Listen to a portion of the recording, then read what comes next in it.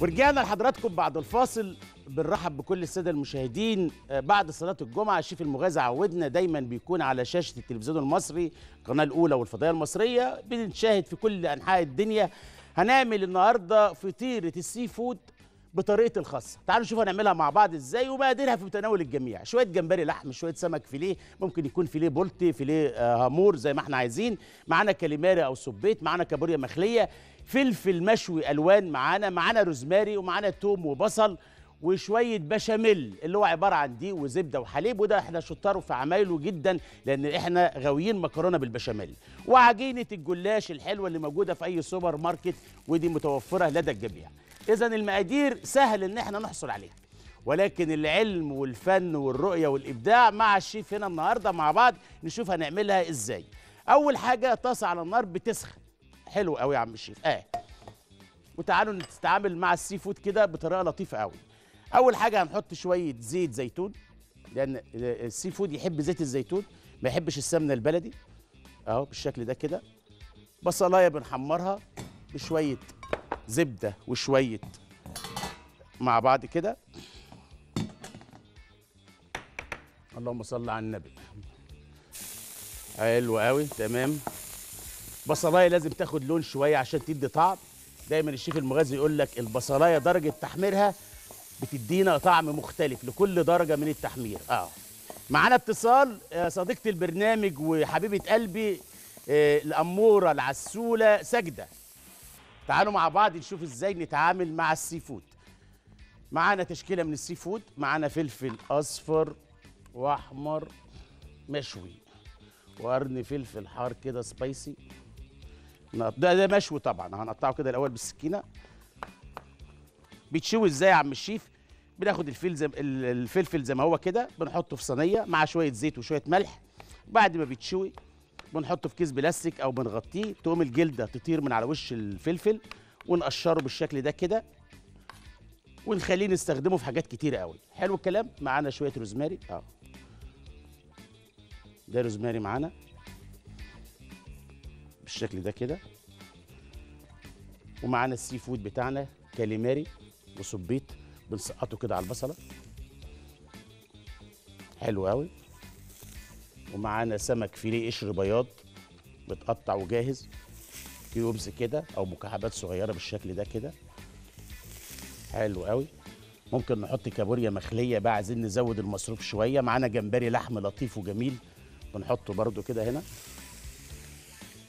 يعني أي أسماك مخلية. حلو الكلام؟ آه معانا زي الفل. ونقلب دول كده مع بعض. اللهم صل على النبي. أهو. بالشكل ده كده ياخد لون مع البصلاية والتومة وأنا شغال كده يتحمر. التكنيك بتاع الفطيرة اللي هعملها النهارده لازم يكون عندنا شوية بشاميل لطاف وجمال زي الفل. بشاميل عبارة عن زبدة ودقيق وحليب. عايز أقول حاجة حلوة كده وأنا شغال. بيقابلوني طبعا أنت عارف الجمهور. شيف مغازي يقول لي هي التليفونات دي بتخش ولا الناس بتكلمك بتشكر فيك جامد. أنا عايز أقول حاجة حلوة للسادة المشاهدين بس. خلي بالكم التلفزيون المصري والشاشة القناة الأولى والفضائيه المصرية المصداقية والشفافية اتعلمنا على كده وفتحنا أنا هي دي شعارنا. والله العظيم التليفونات دي بتخش وحب الناس. حب الناس ده بيجي من رضا الوالدين رقم واحد. خلي بالكم ما لو أنت يعني بارم السمكة وديلها زي ما بيقولوا. رضا الوالدين أهم حاجة. خلي بالكم ورقم اتنين الواحد يكون مخلص لعمله. واللي بيطلع من القلب بيوصل للقلب بسرعة. وإذا دخل للقلب بقى خلص الكلام هنا لأن القلب ده هو الحكاية كلها هو نبض الحياة زي ما بيقولوا. هي دي خلاصة الموضوع. هنا تشكيلة من ال seafood معانا. على النار بتتحمر. توابلنا يا عم الشيف شوية بهارات لطاف جميل جدا. معانا شوية ملح شوية فلفل الكمون والكزبرة. الأكلة دي بريئة منهم خلي بالكم. ما ينفعش كمون وكزبرة خالص لأن البشاميل ما يحبش الكمون ولا الكزبرة يحب الفلفل الأسود يحب جوزة الطيب يحب البابريكا يحب الكاري كل ده إحنا عارفينه. معانا هنا أهوت زي الفل. الحاجات اللي بقولها دي مهمة جدا على فكرة. بشاميل أو seafood عموما يحب الكاري أو الكركم. اهو معانا كمان شوية بابريكا. آه. حلو قوي يا عم الشيف. كزبرة وكمون لا مش هنحط. زي الفل. هنخليهم كده على النار. معانا عجينة الجلاش معانا شوية زيت على شوية زبدة مسيحينهم مع بعض أهو زيت وزبدة. ده لازم يكون موجود عندنا عشان نعمل الفطيرة بتاعتنا. ده زيت وزبدة أهو معانا بالشكل ده كده. عشان الزبدة ما تتحرقش منك أو تدي لون مهم جدا إنك أنت تحط عليها شوية زيت. التقليبه دي كويس. مع البهارات. بنحط شوية بشاميل صغيرين من اللي عندي ده كده أهو. والبشاميل يكون بارد. السادة المشاهدين علل ولماذا يا عم الشيف؟ لأن إحنا هنلف العجينة دي جوه جلاش. شوفوا الخبرة الطهوية بقى. فطالما هنحط الحشوة دي جوه عجينة جلاش لازم تكون باردة ما تكونش سخنة. لأن هي لو سخنة هتبوظ العجينة. فكده الصوص بتاعي أو الحشوه بتاعتي جاهزه. باخدها زي ما هي كده يا عم الشيف واخليها في كسرولة تبرد شوية لأن لسه في تفاصيل جوه الأكلة. آه. تشكيلة ال seafood البشاميل اللي جمعها كلها مع بعضيها أهي. بحطها هنا.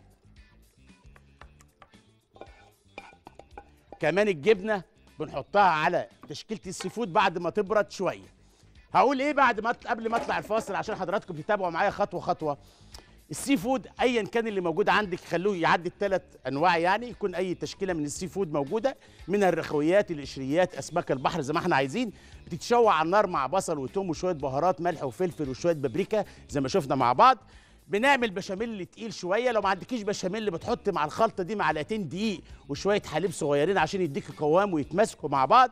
وتسيبها لما تبرد بالشكل ده كده. وتجهزي الزبدة مع الزيت والجبنة بنضيفها للحشوة بتاعتي ولكن تفاصيل الفطيرة هنلفها إزاي ونحطها في صينية إزاي؟ الكلام ده هنشوفه بعد الفاصل. أوعى تروحوا بعيد لأن في مفاجآت في الحلقة. تابعوني بعد الفاصل.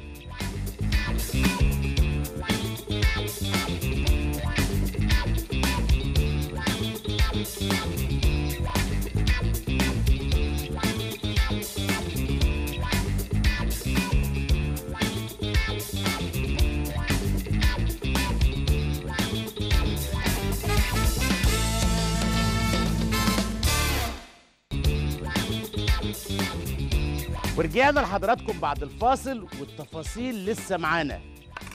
وأسرار فن الطهي لسه معانا. للسادة المشاهدين تشكيلة من ال seafood. انت وجيبك يعني. ممكن تكون جمبري بس انت كريمة وإحنا بنستاهل كرمك. حلو الكلام؟ آه. إيه المشكلة لو جمبري بس؟ يعني مش تبقى فطيرة الجمبري. تشكيلة من السمك الفيليه. ممكن فيليه بلطي بتاع خير مزارعنا بتصدره للدنيا كلها. ممكن نجيب السمك الهامور الفيليه المجمد أو الطازه مفيش أي مشكلة. مع البصل والثوم زي ما شفنا قبل الفاصل وشوحناهم وحطينا عليهم شوية بشاميل. والفها كده وأحطها طبعا. دول ثلاث رقات من عجينة الجلاش. أدي واحد اتنين تلاتة. آه واحدة واحدة. والفها بالراحة كده. معايا التفاصيل يا فاروق؟ آه آه آه. والفها كده بالراحة أهو أهو. واحطها هنا. حلو قوي نفس الموضوع. آه. أدي. واملى الصينية زي البقلاوة كده كأننا بنعمل بقلاوة. آه. آه. وأحط السي فود ده كده. بالشكل ده كده آه. وألفها كده. حطيت شوية بقدونس هنا كده وألفها كده. آه. وأحط دي الأخيرة. أهي بالشكل ده كده. مخرجنا الجميل الله يبارك لك أهو حس على بيدي كده. وعندي هنا زي ما قلنا مع بعض في شوية زبدة مع شوية زيت صغيرين واتفقنا مع بعض فايدة الزبدة مع الزيت عشان الزبدة ما تتحرقش عكس السمنة البلدي. السمنة البلدي مش بتحتاج لزيت يتحط معاها.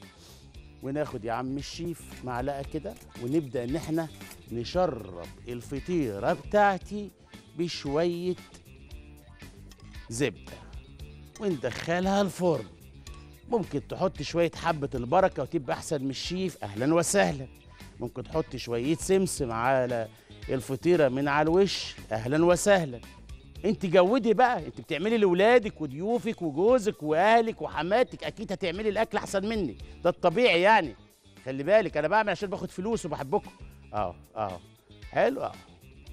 لو حطيت حبة البركة تبقى أنت أحسن مني. لو حطيت السمسم تبقى أحسن مني. آه. السمنه والزبدة كده sorry الزبدة والزيت على الوش كده. آه ودرجة حرارة الفرن عندك يا عم الشيف 180 هنسأل المخرج اللطيف الجميل اللي أنا بحبه هنا السؤال. إذا جاوب الفطيرة دي بتجيلك الكنترول. الفطيرة دي تتحط فوق ولا تحت يا باشمهندس؟ شيف المغازى هيقول إيه دلوقتي؟ معانا معلش التفاصيل الصغيرة دي مهمة جدا. معانا سلطة الجرجير أو الجرجير بالطريقة الفولاذية أو الخلطة الفولاذية. الرنجة بنجيبها بنقطعها مع الجرجير بناخد البطارخ بتاعة الرنجة بنضربها في الخلاط مع الفلفل المشوي وطحينة وعصير ليمون وزيت زيتون. بيبقى عندي بوريه البوريه ده خمس حاجات عصير ليمون زيت زيتون بطارخ الرنجة تشكيلة من الفلفل الملون والطحينة. كل دول في قلب الخلاط بننزل بيهم على الجرجير والرنجة. وقتنا كده. هنعمل إيه؟ بنشتغل بذمة شوية فبنشرح التفاصيل وكل تفاصيل الاكله وكل أسرارها. رؤية فن إبداع بنشوفه يومي الخميس والجمعة على شاشة القناة الأولى والفضائية المصرية. منين يا عم الشيف؟ من ماسبيرو.